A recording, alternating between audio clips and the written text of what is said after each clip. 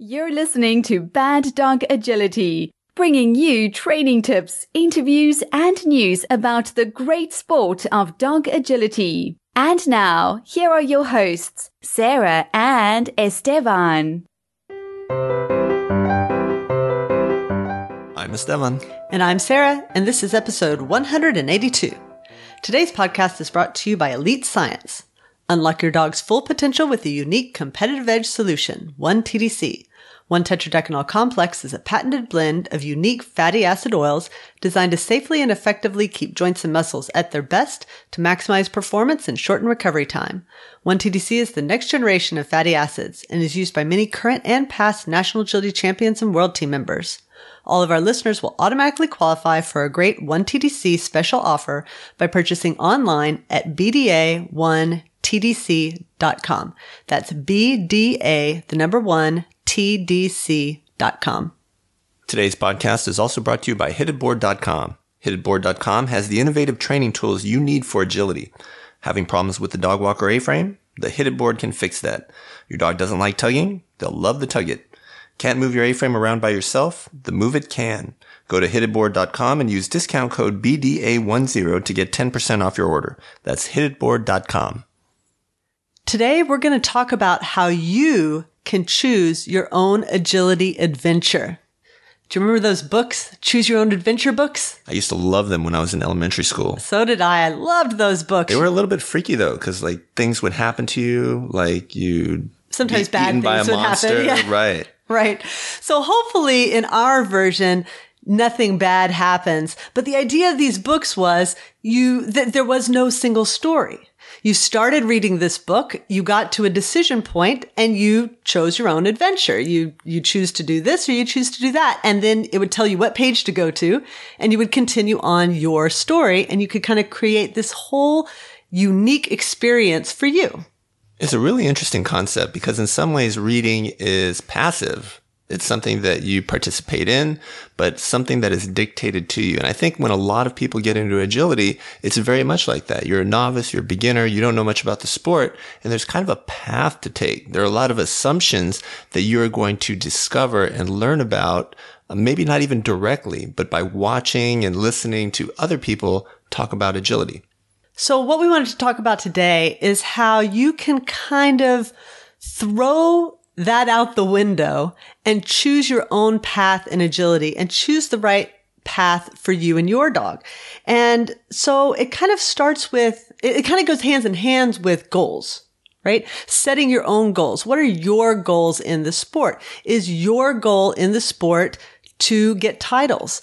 Is your goal in the sport to win? Which those are very different things. Mm-hmm. Um, is your goal in the sport to win at a national level? Is your goal in the sport to compete at an international level? There are lots of goals that we can have and they're not, they don't have value in and of themselves. Everybody's goals can be different and valuable to them. The important thing there, I think, about goals are that they are created and driven by you.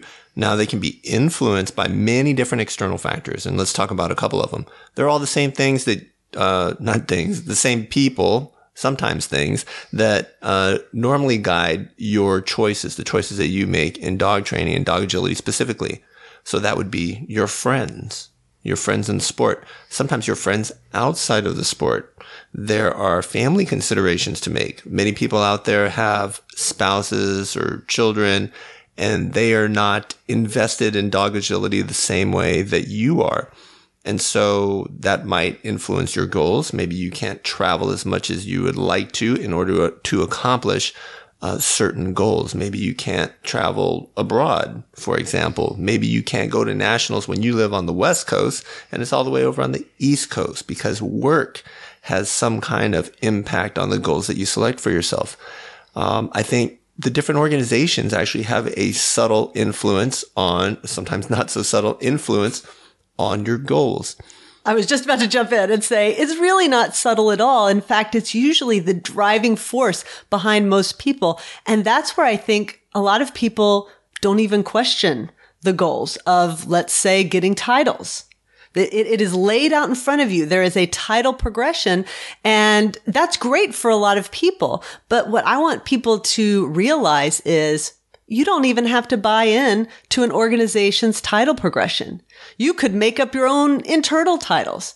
Um, you know, we, we, were talking about the uh, Grand Champion title, the new AKC title, which I think is fantastic. And I love seeing the premier classes being brought into that title. But I could also envision somebody who creates their own version of a grand champion where they want to be a MACH that's AKC's champion title, an ATCH, the USDAA champions title, and a UKI champion. And that is the goal they set themselves. They, they say, I want to be a champion in three different organizations. And that's going to be my driving motivator. So, uh, these title progressions don't have to dictate how we show either. Mm-hmm. I think that's very true. It's interesting that you talk about title progressions because when I first came into the sport and I started with a golden retriever, many, many years ago, almost 20 years ago now, that's definitely the first thing that was on my mind. How quickly can we earn the novice title? I wanted to be the first one in the litter to earn my novice title, not necessarily to be the fastest or quote unquote best uh, dog in that litter. I want to be the first one to get the title. Uh, then it was a big deal. The first one to get the MACH, right? The Master Agility Championship title. Uh, then, so over the years, my goals have shifted. I'm a little more uh, performance based in terms of uh, speed rather than titles. I think the sport has evolved in a way that both of those goals are possible, but often not together.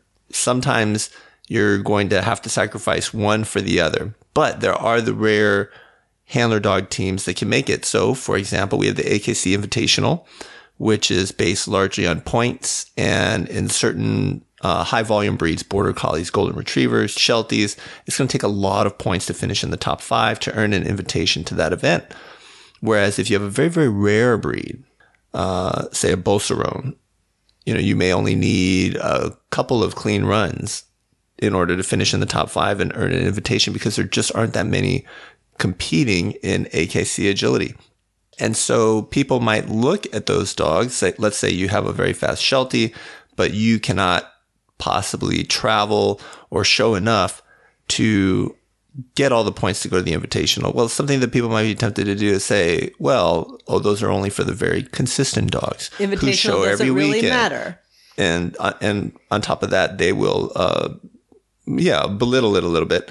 But even getting away from their opinion of it, they will look at it and say, well, that's not something that I can do. So that's not an event for me, but maybe something like AKC Nationals is, where the qualifications will let in many, many more than just five Shelties. If you have a Sheltie, it's very reasonable for you to go to nationals and then you can make making the finals a goal. And that's how the organization, I think, in how they design their events which events they give, which events they showcase, right, uh, can have a powerful influence on your goals. And but we'll talk a little bit about how people belittle the goals of other people, but I want to kind of save that for a little bit later yeah, that'll be kind of wrap up time. But I wanted to bring it back to what you were talking about with your initial goals with your golden retriever. And you know, yes, looking back, you know, it was a little naive, maybe even a little silly to, to say that your one and only goal was to be the first to get that novice title. But I also want to step back and say that's a perfectly valid goal at that time. And what did you do? You went out and you got private lessons, you know, mm-hmm. multiple times a week and you got out there, you trained her, you got her debuted, she was had a perfect opening weekend so it moved you forward it's not the same goal you would have 15 years later, given, you know, how we compete now, but it was a perfectly valid goal at the time. And you chose an adventure for you and her at that time. Yeah, I think that's a good way to put it. What we're talking about here is a, an artificial construct, right? It's completely made up. It's made up by people. It's made up by your competitors, your instructors, the organization, what you think popular opinion is, what you see on social media, what you're reading in magazines like Clean Run, what you're seeing on people's blogs about dog agility. And the construct for a long time has always been that over the lifetime of any one dog, or for someone, it may happen over the lifetime of several dogs. What's going to happen is you're going to start in agility as a novice and you're going to be really bad. Then you're going to get better. And then you're going to be able to earn a championship title in whatever organization you compete in, but your dog's not necessarily going to be the fastest. After you get that goal, now you're going to suddenly be interested in national level competition, being a contender or a finalist if you want to be. And then, of course, the pinnacle of all of that would be running, at least here in the United States, on an international team. And so, in this structure that starts with novice and ends with international handling and an international team as the highest form of agility, there's this unspoken assumption or implication that if you don't keep progressing, that if you don't move up that pyramid to the top, then at some point you've stalled out. Well, and it's like it's like a straight line. It's like a road with no branches. It just goes in one direction. There's only one way to go. And if you aren't going that way, you're going nowhere. Right. And, and what we want to do is say, let's think of it like a tree. You know, Sure. where there's this multiple What, this is what we're railing against. We don't think this should be the model. I don't think that international handling or competitions are the pinnacle of agility or anyone's agility career. It shouldn't be the track that you're necessarily on. A lot of people come into the sport, they see this pyramid, they look at the top and they say, well, I can't get there. And they immediately feel what? They feel disenfranchised. disenfranchised, disheartened. You know, like, oh, I've lost before I've begun. Right. That's right. So we want you to come up with your own notions and we wanted to give you some ideas like, you know, making up your own internal titles, some ideas of things that you might not have thought about that would help you to choose your own adventure. I think the obvious ones are, well, you know, invitational is a great goal for some dogs, not a great goal for other dogs. Okay. A lot of people have thought about that. Um, nationals some dogs that's going to be a great goal. Some dogs, it's not what they're interested in. A lot of people have thought about that. I think Westminster is also a big new one because even when it first came out, people are like, well, why is Westminster getting all this press? The dogs in it aren't very good. This is from people who are pretty good at agility, right? National level type competitors. And um, I think you're seeing the the quality and level of handling kind of improve steadily each year. And Westminster, it becomes more of a big deal, but that's where all the television coverage is right now, the media coverage, and it makes sense, I think, for people to say, well, this is a goal for me. This is something that I'd like to do. Right. You may be one of those once in a career kind of events that you go to or every year. Uh, and I think that is a great new one. Part of the idea for this podcast came from a question when we were um, posting the live stream to the U.S. European Open tryouts that just recently happened. And somebody mentioned, you know, I would love to run those courses, but I don't think I'm ever going to do European Open or, you know, that travel's not for me or, you know, something along those lines. And I thought, you know, there's no reason why you couldn't go to the tryout event with the idea that the event is the end point. Everybody's going to tryouts thinking tryouts is just a stepping stone to the team. That's the only reason I'm going. But it's an event where you get to compete against some of the best dogs in the country on actual FCI international courses. And if you've been training those With the skills, judges who are going to judge those actual events, one That's of the right. judges will be. And so if you wanted to, you could say, I, I can't afford to actually go to EO. I can't take the time off work. I don't travel well. I'm not going to put my large dog on a plane uh, overseas. But you could still go to the event and just say, for me, this event is it. I am here to do my best at this event to put my dog up against the best dogs in the country and see how we do. And that was kind of my advice. And then later I thought, you know, that's really true. Like, I could do that. I could make that choice for myself. And there may be some events that I'm not going to now because I'm not interested. You know, maybe I don't go to a regional, uh, a USDAA regional because I know I'm not going to go to the actual Cynosport because of where it is in the country or something like that, right? But if there's a regional nearby, I could still go and make that the end point for my adventure to say, I want to go to this regional where the co- competition is going to be a little bit harder than what I'm used to. The courses are going to be a little bit more interesting and I'm going to make that the end point. I had two dogs that I made uh, world team tryouts the end point. One was Sammy the Rottweiler. She had a really good year later in life, somewhere around 2008. And I took her to tryouts knowing that she wasn't going to be the fastest dog, although I was surprised by how many dogs she was faster than. And knowing that we didn't have the handling skills at all for those kind of courses. And um, just to have that experience, I felt that it was something that she had earned, and it was nice to go out there and uh, see her run. And then the other dog we had was a very small border collie named Rook. She's still with us. She's now 15, 15 right? And uh, mostly blind, completely deaf. But um, Rook won the international classes, first place in standard, first place jumpers at one of the big cluster events here in Houston. Here in Houston. And so, without needing to get any other legs or qualifications, she'd earned the opportunity to go to the world team tryouts. So again, a dog who's smallish. Uh, we didn't really have the skills, and um, I'm not coming into that event thinking that there's a legitimate chance to make the team. Uh, but I felt like again, it was something, it was a right that she had earned, right? And I made that like her endpoint, the highlight of um, her year. And so I did that for uh, both of those dogs. I think another example for all of this, an explicit example, is the difference between Gitchy and her littermate Red. Red is her brother, outstanding golden retriever run by Amanda Smelser. And Red is the one who earned the Agility Grand Champion title, one of the first dogs to do it. Uh, I believe one of the, uh, the first golden retriever. Don't quote me on that, but I'm pretty sure that's right. And you've got to get legs and fast and time to beat and uh, premier, right? These international style courses. You know, so there's a lot of people out there getting their master agility championship, their MACH, but aren't willing to step into the premier arena. But Amanda did and she made that a goal for them and they went out and they did it. It's a really big deal. But with Gitchy, I chose a different path because even though Gitchy had run with Susan a little bit and gotten a couple of time to beat and fast legs, I never ran a single fast or time to beat course with Gitchy. All I did was premiere. I only did premiere to get her ready for international competition and the national level stuff.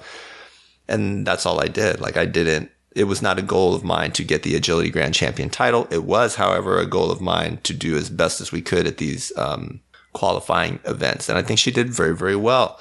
Uh, and so you have two litter mates, right? Two different handlers, two different branches on that tree that you're talking about.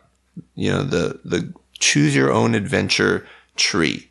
And so I think that's a really great way to look at it because now, I mean, if you think now's the time to talk about it, what what achievement is higher? Which of us is better? Who's better? Me or Amanda? Who's the better dog? Red or Gitchy? Right? That's that's a trick question. Right? These are all artificial constructs that people have given our sport. We've each chosen different adventures. Let me give you one other idea. And I actually didn't think about this until just now as being a choose your own adventure idea. But uh, when my dog got to masters in jumpers, but was not yet masters in standard. So when I run masters jumpers, I can get points. I can work towards my my uh, MXJ, but I cannot get double Qs because I'm not in masters and standard right? And for me, double Qs are always the thing that I need for, for any event, right? If I'm, if I'm trying to go to nationals or whatever, double Qs are what's going to hold me back, not points, just because of the speed of my dog. So every masters jumpers run is only worth points. So what I decided to do was not enter masters jumpers and I enter premier jumpers instead because, because I have my AXJ title, I'm eligible to do premier jumpers. So I will enter premier jumpers, regular standard, premier jumpers, regular standard, uh, because I'm just not concerned with earning points or earning uh, MXJ legs, mm-hmm. right? And so that was my own adventure and my plan going forward would be to get the double Qs that I need for nationals and then to just enter premier. And, you know, we have time constraints. We have kids. So, you know, I would rather show up and run Premier and go home earlier or go later and then have, you know, more of the day with the family. I don't feel like I need to always do masters standard masters jumper. So that's kind of my own take on the adventure. And I think now um, that we're further along this podcast, I realize that we don't have to limit this to just trialing. I think a lot of this can apply to training. For example, do you know of anyone who's trying to do a running contact, but they're not really at the kind of level where they could go and be on the world team and win an agility world championship? You know, there's a lot of people like that. And so then someone might say, well, why are you doing that? You know, there's a lot of reasons that someone might be doing that.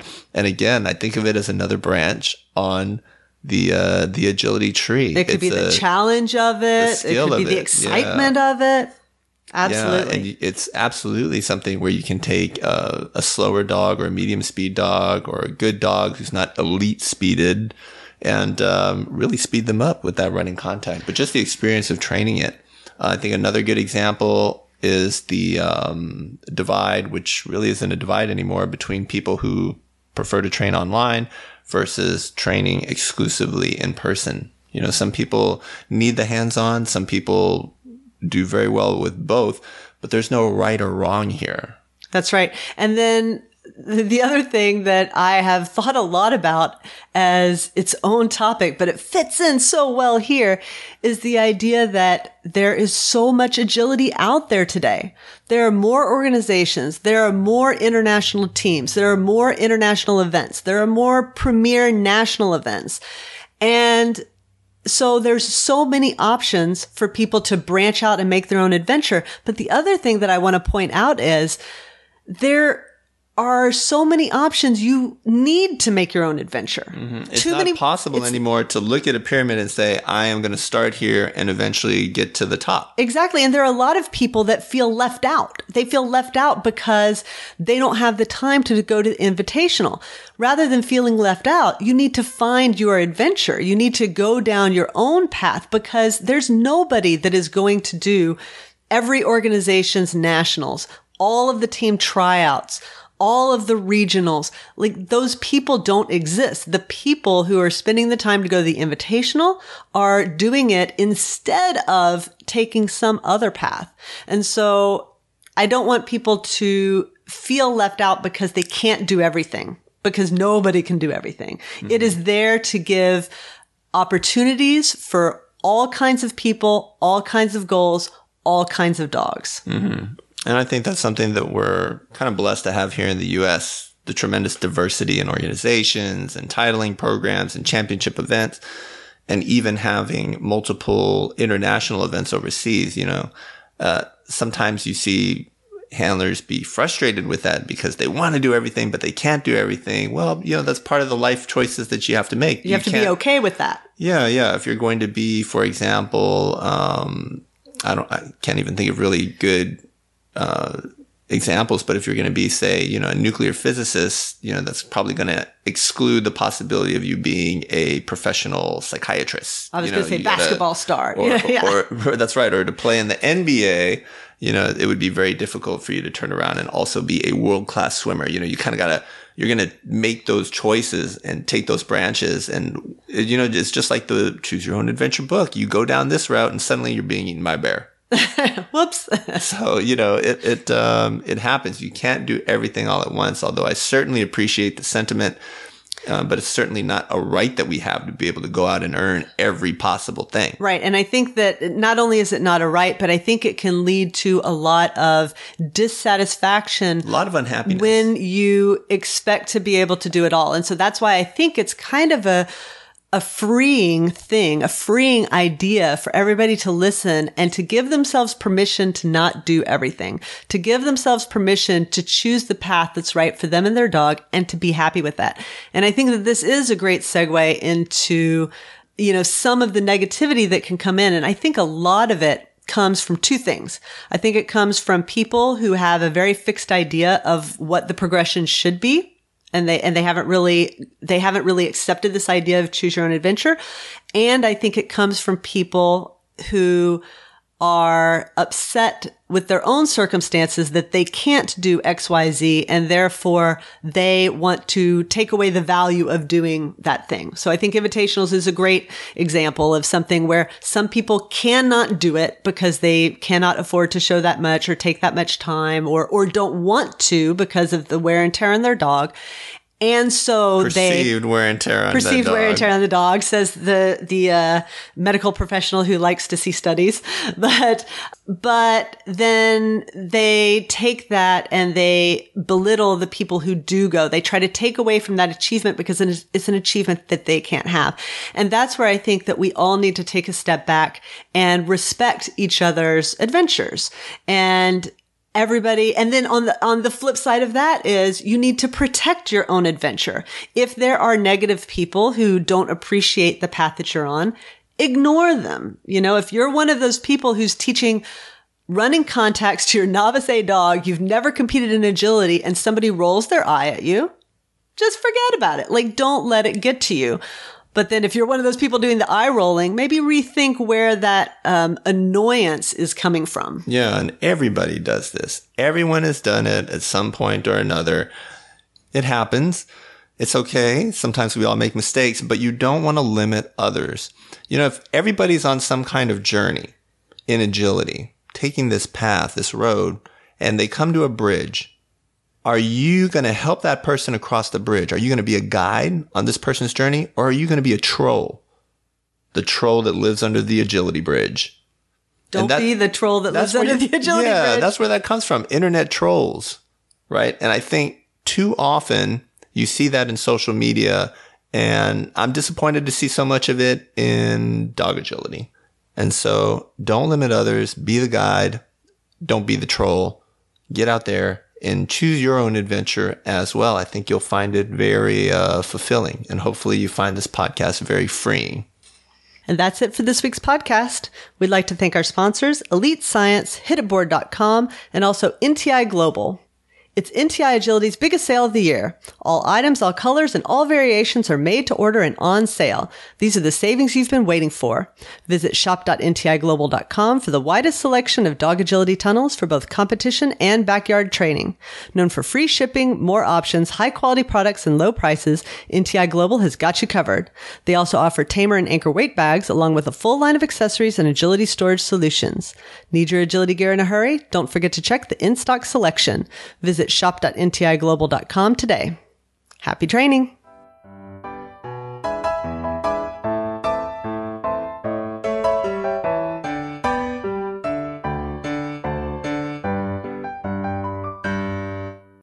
The past, the present, and the future walk into a bar. It was tense.